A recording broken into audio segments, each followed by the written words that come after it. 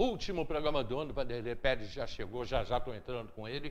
Deixa eu dar uma passada na capa do Jornal Diário. Vanderlei, pode entrar, entra pela cozinha, porque a casa já é tua mesmo. Já entra pela cozinha e pode sentar. Deixa eu dar uma passada na capa do Diário de hoje, da, das informações que nós temos no Jornal Diário. E é, tem uma matéria importante para o final do ano, que é o crescimento dos golpes de estelionato em Teresópolis, né? Vamos lá. É, Proteja-se dos estelionatários. Daqui a pouco eu vou trazer essa matéria aqui para vocês. Dinheiro da iluminação pública pode ter ajudado a prefeitura a pagar salários. Isso pode? vou perguntar isso a Vanderlei daqui a pouquinho. Chegada do Papai Noel no CRAR Meldon anima crianças e adultos. Policial de Teresópolis recebe homenagem. É o Ronaldo Jacques, que está lotado lá no CORE, e ele contribui muito com a Guarda Municipal, porque ele gosta de cães. E ele é um cara que mora ali no bairro de Araras, sei onde ele mora, meu amigo. E, e, é um trabalho bonito que ele faz, é um trabalho bonito que a nossa Guarda Municipal também faz. E o Ronaldo foi sendo, está sendo homenageado, recebendo homenagem. Está aí, primeira página do jornal O Diário de hoje. Deixa eu chamar essa matéria aí falando sobre o crescimento do crime de estelionato em Teresópolis. Luiz Cláudio Bandeira é com você.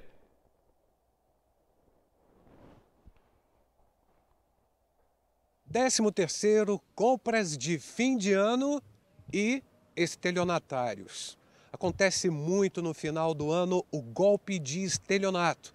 E nós viemos até a centésima décima DP conversar com o delegado titular da delegacia aqui de Teresópolis para saber quais os golpes aplicados aqui na cidade e também a forma que você pode evitar ser uma vítima deles. O que ocorre é que nós temos é em Teresópolis, na sua maioria, crimes de estelionato que são registrados. De 40% a 50% dos registros feitos na 110 DP são de estelionato. Então, existe uma preocupação muito grande por parte da gente em relação a esses crimes. E é um crime realmente difícil de investigar, porque, na sua maioria, é, as pessoas caem em golpes em que o, estelionatário ele não reside no local onde foi aplicado o golpe ele reside em outros estados ou até em outros países. Então, as pessoas têm que ficar muito atentas, porque nós temos centenas de modalidades de golpe.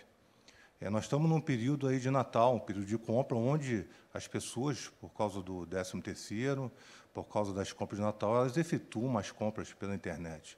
Então, as pessoas têm que ter muita cautela, muito.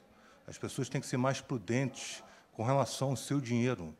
Então, procure, se for fazer uma compra, procure um site seguro para efetuar essa compra. Entre num site em que você sabe que aquele site, você não tem notícia de, de ter ali qualquer situação de fraude. Entendeu? Nós temos muitos casos de pessoas que, às vezes, por falta de cautela, elas permitem que o celular seja clonado, elas, elas compram é, em sites é, falsos, é, pagam boletos falsos, observar muito com relação ao boleto, se aquele boleto ele corresponde realmente à empresa do qual você efetuou a compra, observar se aquele boleto ele corresponde à numeração do banco em, em, que, na realidade, vai ser o recebedor do, do valor. Então, as cautelas têm que ser feitas. É, com relação ao WhatsApp, que é o que a gente vê muito hoje em dia, clonagem de WhatsApp.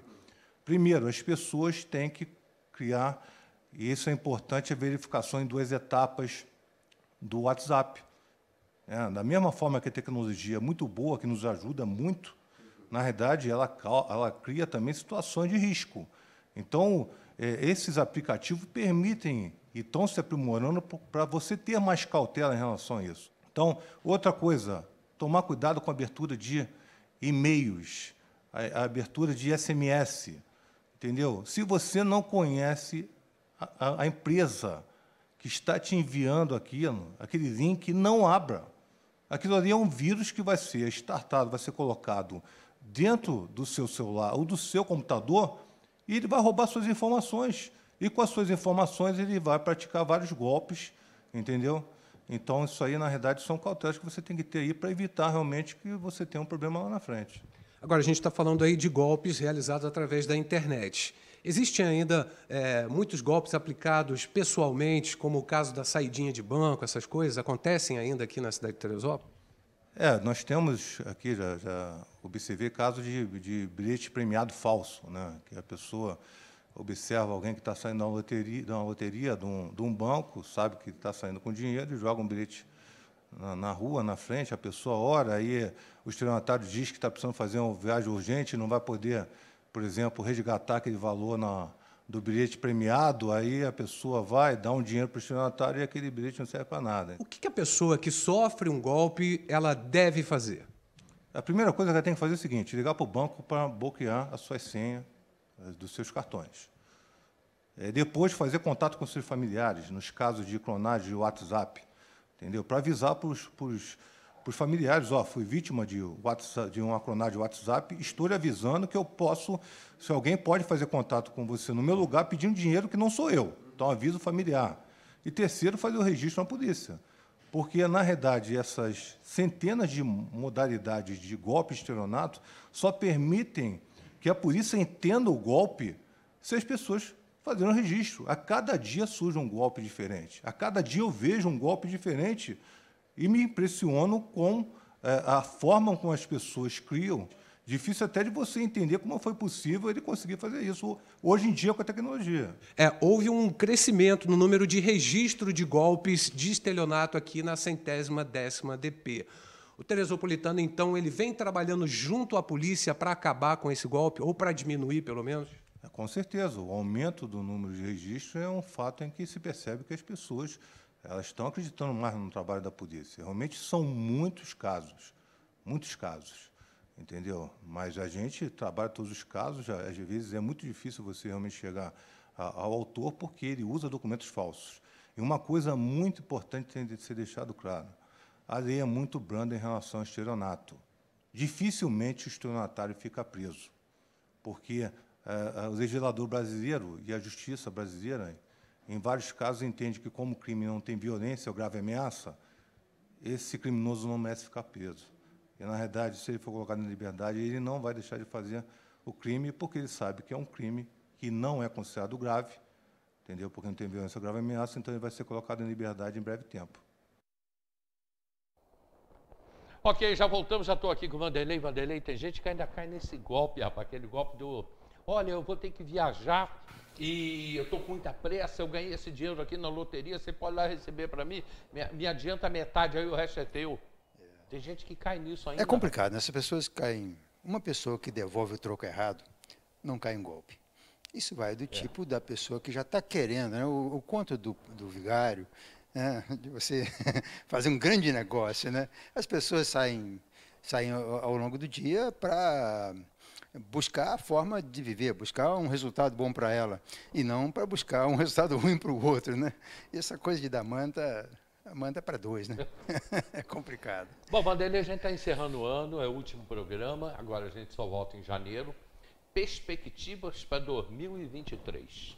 O que, que você acha politicamente em Teresópolis? E no Brasil, né? É, 2022 passou, né? Passou como um raio, né? Foi foi rápido. Depois da pandemia, como é que o tempo está passando rápido, né? Verdade, é. Ah, desde 2020, né, que a gente vem passando essas dificuldades todas, mas a gente se livrou de muita coisa complicada esse ano de 2022. Né?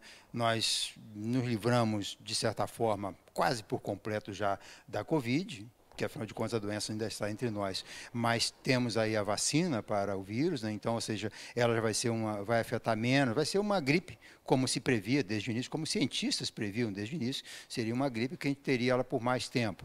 A gente passou também por esse período de, é, não de incerteza, né? de, de extremismos, é, e vai experimentar um outro possível extremo ou não nos próximos quatro anos, ou seja, é uma experiência nova. Né? A vida está sempre em transformação e a gente tem que entender isso como uma, uma possibilidade de aprendizado e de promover uma transformação, uma mudança que seja boa para nós. Eu acredito que 2023 vai ser melhor que 2022 e sempre é, porque o dia de amanhã é, já é o resultado do nosso sucesso no dia de hoje e no dia Sim, de ontem, é, né? é. Então, ou seja, nós avançamos, né? Então, quando a gente avança e com, se a gente tiver sabedoria para utilizar o que nós aprendemos, né? Eu vi uma entrevista daquele maluco, daquele tal de caminhoneiro Zé Trovão, que criou um caso Zé danado Trovão. ao longo do Brasil. Esse cara foi, foi eleito deputado federal por Santa Catarina com 71 mil votos.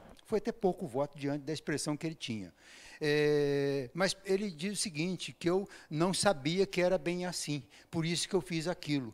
Isso é importante, porque, ou seja, a pessoa que vai para a rua pedir golpe militar, ela então, quando ela, ela, ela aprende com o erro dela, como também agora, nós vamos aprender muito com os erros que nós vamos cometer ao longo dos próximos anos. O, o importante é a gente não continuar nesse erro, a gente avaliar, não é assim que a gente, que a gente tem que proceder, e isso é errado, isso não deu certo. Então, a Corrigiu vida é uma, é um eterno aprendizado, nós estamos estamos sempre nos aprimorando. E nós temos, temos essa responsabilidade de deixar uma geração melhor que a nossa. Claro que a gente não vai deixar. Nós fomos muito incompetentes, eh, nós, ao longo dos últimos 50, 100 anos, a gente, deixou, a gente vai deixar uma, uma geração, a gente deixar um mundo pior para essa geração que está vindo aí. Mas nós precisamos deixar pessoas eh, essa nova geração com ensinamentos que nós podemos promover para que eles sejam melhores do que a gente foi. Porque nós tivemos a oportunidade de aprender muita coisa. Vivemos períodos de grande adversidade. Essa mudança de tecnologia, tudo isso fez com que a gente vivesse coisas que outros não viveram. Então, nós podemos ter aprendido com isso e ensinar para essa, próxima geração, para que ela tenha um mundo pior para viver, porque afinal de contas nós estamos deixando o mundo bem degradado, bem pior para ela viver, mas com a mente mais aberta, com ensinamentos que nós vamos deixar. Vanderlei, é, o efeito cascata que pode acontecer, que vai acontecer, a partir de, de, de janeiro, com o aumento dos salários. Presidente, vice-presidente, ministros, mini, judiciário, vai bater nas câmaras de vereadores também, provavelmente. Que efeito isso vai dar no país? Porque se, eles se aumentaram os salários. É, o grande problema desses últimos anos no Brasil é que nós, o país empobreceu muito, né? aumentou muito a distância entre o rico e o pobre. Nós temos aí a cada dia uma, uma casta menor de pessoas bem-sucedidas, encasteladas em vários segmentos, eh, onde não há problema, em vários mundos irreais, né? E um mundo real de dificuldade para uma grande maioria da população. Eu acredito que uns 90% desse país hoje está pobre. E apenas uns 10% estão ali naquela classe média e ricos. Né? E os ricos cada vez menores. Menores e com menor quantidade de ricos e com mais dinheiro cada, cada vez. E ao ponto em que o pobre está camada de pessoas que têm dificuldade para pagar um aluguel, de para buscar o próprio sustento, de conseguir um emprego, de conseguir uma condição de vida melhor, essas pessoas estão vivendo com mais dificuldade hoje. Isso é muito ruim, né? E esse nesse mundo maravilhoso em que as autoridades, em que essas castas vivem, eles não se preocupam porque é um assinte um, um, um ministro ganhar 40 mil reais por dentro sem as vantagens, que dá mais de 200 mil reais, a vantagem de um ministro. Né? É um parlamentar ganhar 20, 30 mil reais, quando, na verdade, ele custa quase 500 mil ou um milhão por mês para o bolso do contribuinte, porque ele tem um apaniguado, aquela, aquele bando de gente em volta dele que não produz nada, como é nas várias outras castas dos políticos, né? nas câmaras eh, estaduais também, nas câmaras municipais, onde cada vereador, cada deputado tem um penduricalho de gente aí que nada produz, mas recebe em função daquele mandato. Então, ele também, nós pagamos aquele salário também. Então, essas pessoas que vivem nesse mundo eh, perfeito, elas ficam muito insensíveis, porque elas se bloqueiam. Né? No mundo delas tem iate, tem passagem É, de avião, é. eh, tem cafezinho toda hora, tem cartão que passa, nem vai na conta porque é corporativo. Esse mundo é um mundo para poucos, né? e eles vão sempre fazer isso. Nós nunca podemos perder o direito, nós não temos como muito o que fazer com relação a isso, mas nós, nós nunca podemos perder essa nossa responsabilidade de criticar isso e de apontar esse erro. Está errado, senhor ministro, está errado, senhor presidente, está errado, senhor futuro presidente, está errado, senhor futuro deputado. Você não pode compactuar com isso. Um deputado tem que ver que ele ganha 30 e poucos mil reais e que os vantagens que ele tem chega a quase 300 mil reais, um deputado federal, mas ele tem que ver que quem colocou ele lá foi uma pessoa que, tá, que ganha ou 1.300. salário mínimo, ou nem, nem isso ganha, ou está dependendo de viver de favor de auxílio Brasil, auxílio Bolsa Família, essa coisa que tem aí. Então isso é complicado. Então a gente, para essa formar essa ideia de rejeição a essas coisas na sociedade, é preciso a imprensa estar sempre atenta, é preciso as pessoas que têm é, liderança sobre outras ou que formam opinião é, estarem sempre lembrando isso ao povo. Está errado esse tipo de, de procedimento. A Maria Felícia está te fazendo uma uhum. pergunta, embora você tenha falado isso em passant, ela pergunta, explique isso, por favor. Quem foi para a rua pedir golpe militar?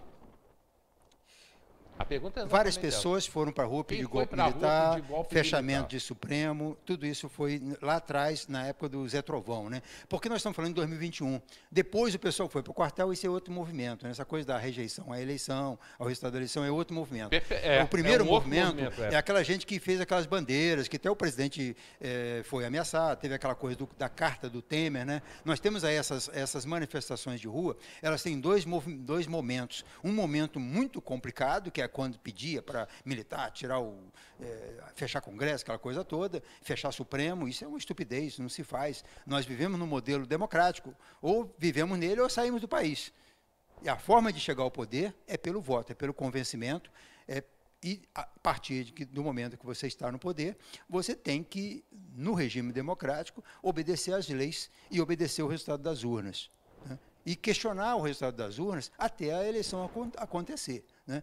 O pessoal questiona o resultado das urnas, mas não quer ser fiscal eleitoral para ver se teve fraude na urna, se o mesário trabalhou direito. Ninguém quer fazer esse trabalho social. Os próprios partidos estão abrindo mão disso. O partido que ganha para isso, para fazer ajudar no processo eleitoral, no dia da eleição está preocupado com a votação do candidato dele e não com a lisura do processo eleitoral. E vai questionar o resultado depois se perder.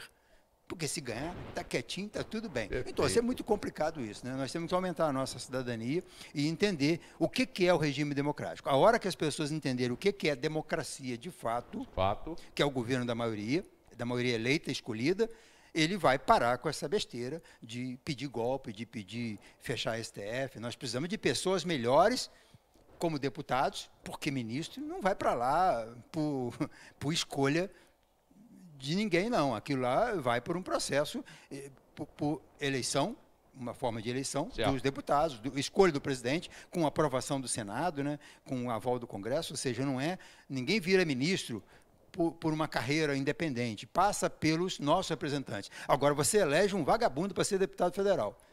E acha que ele vai escolher um bom ministro? É verdade. Dá é nisso aí. É então, aí. nós temos um STF ruim porque nós temos deputados ruins. Vanderlei, muito obrigado pela tua participação o ano inteiro, o ano que vem juntos. Certamente. Então tem muita coisa que vai acontecer o ano que vem e o momento político que a gente vai virar 2022 para 2023 é muito ruim aqui para a gente. Estamos vivendo um mau momento político. Mas aí é só o ano que vem que a gente vai falar disso. Vanderlei, muito obrigado. Eu vou para o comercial muito rápido. Na volta, elas são bonitas por dentro, por fora. São duas mulheres marcantes, maravilhosas. Eu vou bater um bate, vou fazer um bate-papo com elas daqui a pouco. Vocês já as conhecem, lógico, Maristela e Bibi, Bibi e Maristela conformando dupla. Eu volto já já.